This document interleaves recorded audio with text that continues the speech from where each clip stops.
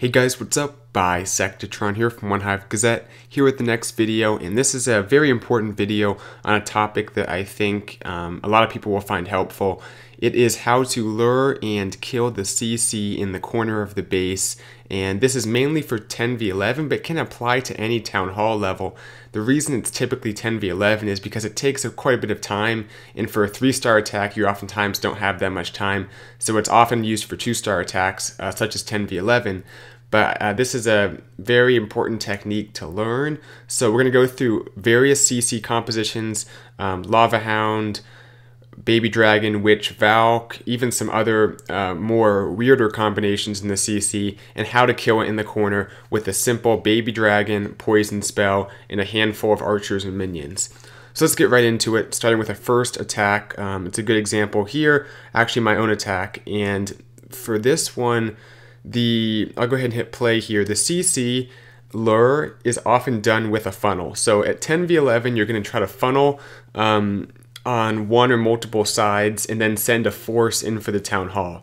So funneling is a huge important part. It gets you percentage and it helps force your main push of troops towards the town hall. Um, that's kind of basic stuff. So while you're creating that funnel before the eagle is activated, oftentimes you can slip in a few hogs because otherwise the CC is pretty well defended. It's difficult to get troops in range of it to lure it out. But during the funnel, you can slip a few hogs in often and kind of just piggyback on that funnel you're already creating.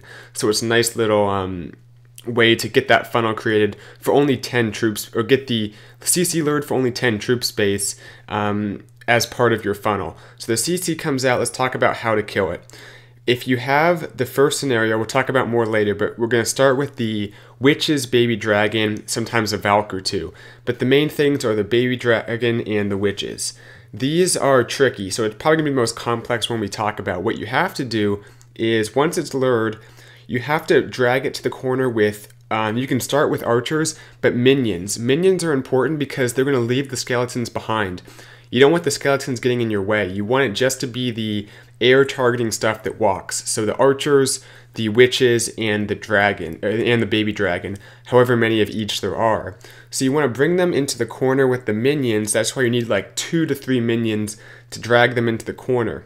Um, this way you're separating these important things that can uh, harm your baby dragon. Now, once you have them semi-separated, it's important you drop the poison first. Don't drop your baby dragon, drop the poison. Now you'll see the troops will start to move away from it. Then you drop your baby dragon.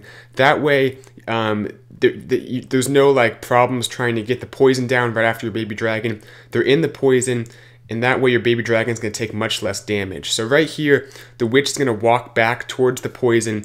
The baby dragon will keep them all in the poison. You want to target your baby dragon onto the other baby dragon. Um, if there are multiple baby dragons, that might be a little bit complicated and a little bit more difficult, but because they do less damage when they're near other air troops, it should be similar to only facing one baby dragon, but you might need multiple troops. But typically, it's very rare we see multiple baby dragons. It'll typically just be one of them. So you're going to drop your baby dragon to attack the other baby dragon. So that's what we did here, and you can see it dies. Then next, if you did it right, your baby dragon should target the witches. Now the witches, if you have a max poison spell, will be killed by that poison. So you don't necessarily have to have your baby dragon kill the witches, but if they're outside of the poison for a short amount of time, it won't do enough damage to kill them. So it's important your baby dragon targets the witches anyway, just for security. Now, once everything's dead besides the ground uh, troops, you use an archer to pull over the Valks, the spawned skeletons, and any other ground troops left in the CC that were not pulled over by the minions. Oftentimes the residual poison spell will kill them, but if not, your baby dragon sitting there, it's not taking any damage, it can finish them off as well. So that was a pretty good example of how to do it. Let's take a look at another attack that isn't the best example.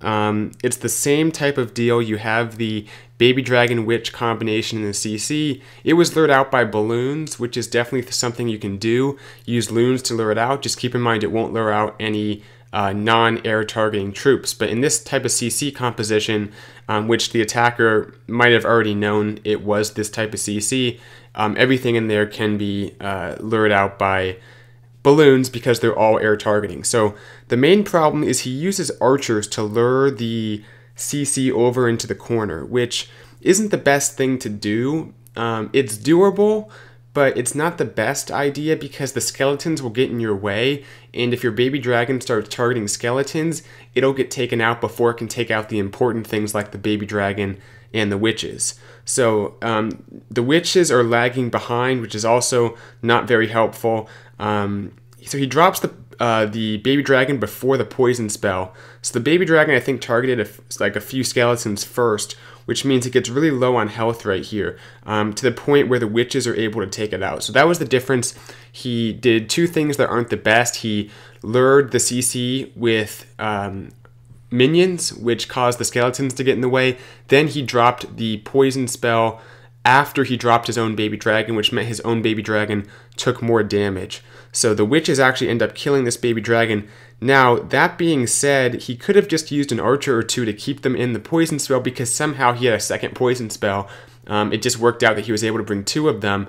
So he does not need to even drop this second baby dragon that he ends up dropping. It may have just been kind of a panic baby dragon. But if he just kept those witches in the poison spell, I think a level 4 plus poison spell can take out those max witches if you keep them in it for the entire time. So all we had to do was keep them in it, but he went ahead and dropped the baby dragon anyway. Uh, so you know, it is what it is. He used an extra 10 troop space, but he may have wanted to also create a funnel up here um, and take out some of these buildings, which is why he dropped the baby dragon. But the, the main point is uh, for this for this replay is don't uh, don't do those two things that I pointed out. But besides that, um, this ended up being a successful attack. Let's take a look at another example. Okay, I'm getting a little bit shameless here by showing my own attacks uh, multiple times, but honestly, um, these are some of the only ones uh, that we have access to that are still in our war log um, that I'm able to use. So um, that, that had this CC composition and this type of CC kill. This one actually had a Valk in it, which was kind of uh, kind of interesting, um, something you see, and uh, just a few hogs to lure it out. In terms of luring the CC, if it's just that easy, there's no possible Teslas um, because there's no space for them. Just drop two hogs in that archer tower, got it lured out. It's very tricky though because this air defense is covering almost the entire top of the base, but there is a little bit of room by that statue to drop a baby dragon, and that, that's exactly what I'm going to do here. So I go ahead and drag it to the top here. Um, a few of those goblins, because they're so fast, did get um, out in front, and they're a little bit in the way where they are right now. So that kind of complicates things. The witches will often lag behind, and you don't have enough minions to actually draw the witch all the way up to the poison spell, which can make it a little bit tricky. So let's go ahead and see how this works out here. Um, poison first, and then baby dragon. Fortunately, the witch walks up very quickly, so she's in the poison spell within a few seconds, and the baby dragon will finish her off. So oftentimes you can kind of cheat and drop the poison before the witch is even in it, um, as long as she walks up towards your baby dragon and towards the poison spell, one of which will, one of which will take her out. Now, a rookie mistake here. I'm using my queen for the funnel on the top of the base. I did not see that Valk that was still up. The baby dragon can take it out for free, but I mistakenly drop my queen too early, and she gets one shot from the Valk, but not that big of a deal. Um, I th- I'd say another pretty good example of how to do it there, and uh, remember to drop the poison before your baby dragon, and to if you can if afford the uh, if you can afford the troop space, bring the minions. They're better at luring those uh, baby dragons and witches, uh, the archers are going to kind of complicate things and make it more difficult because you'll have goblins and skeletons and other like valks, other ground troops that run up as well, which get in the way and can possibly distract your baby dragon, which should be focusing on the important stuff that can target it back. So keep that in mind. That's that for this CC composition. Let's take a look at some different uh, compositions you might encounter in the clan castle. So the next one we're going to talk about is a Hound Loon CC. Uh, this was recorded on the developer build because I couldn't find any replays. Um, Houndloon CC is becoming less popular, but when you do see it, it's a very simple uh, kill. So we'll go ahead and just show one replay. Not a whole lot to talk about. Uh, once you lure it out, you want to use archers. Now, if you have a good anchor, and uh, check out how sweet that anchor is, the archer tower barely can't reach. Um, it makes it easy with one archer, but you want to have a few archers in case there's nothing to latch on to. It might take a few archers to get the hound in the corner out of range of any defenses. Then once it's safely in the corner, just go ahead and drop your baby dragon on it. You can drop it even as the archers are still alive. It won't make a difference. Just make sure while you do this that you uh, don't do anything else as the baby dragon is killing the lava hound. Don't drop like a wizard for a funnel because it will move the lava hound away. So you can do loons, you can do minions, you can do any air troops, but you can't drop ground troops because that will cause lava hound to start running away from the baby dragon because it targets uh, ground troops. So keep that in mind. Now one little trick I did you can see is I dropped an archer, an additional archer directly under my baby dragon, which caused the balloon to get in range of that splash damage. That's a good thing to do is to uh, bring that balloon very close to the lava hound so it dies to the splash damage. But it's, it's not a big deal if you don't. It'll otherwise die to either the poison spell or after all the pups are dead, the baby dragon will take out the balloon. As long as there's no other troops deployed, no other ground troops are deployed, uh, the balloon will just sit there and your baby dragon will take it out in, uh, later on. So that works as well. But notice right here, as soon as the lava hound is about to pop, maybe a split second before it uh, pops, and you want to do it before, don't wait till you see the lava pups to do it. Drop the poison spell on the shadow of the lava hound, not on the lava hound itself, but where it's centered, which is on the shadow of it. Very important to drop it on the shadow. Right here, I'm going to do that. As soon as it's about to pop, um, boom, poison spell, maybe even a tad late, but it actually worked out fine. I dropped it basically as the hound was exploding, and because I dropped it directly on top of the shadow of the lava hound, look, pretty much every pup goes inside that poison spell. Very important. Don't drop your poison early because it'll it'll make the lava hound start running away from the poison spell, and when that happens, it'll get off centered and the pups won't all die. So don't drop it too early. Drop it just before it's about to split. And once it does, um, most pups should be in the uh, the poison spell. And if a few aren't, it's not a big deal. The baby dragon will kill them. Just make sure that the majority are. Otherwise, they might kill your baby dragon, and you'll need to drop additional troops to kill the remaining pups. So you can see how many hit points my baby dragon has left. Um, pretty good stuff. And uh, let's take a look at one more example, not of this, but of a different CC, because sometimes you guys encounter dragons. And let's talk about how to kill a dragon type CC. A big dragon, not a baby dragon. Let's take a look. All right, here we go. Um, same CC lure.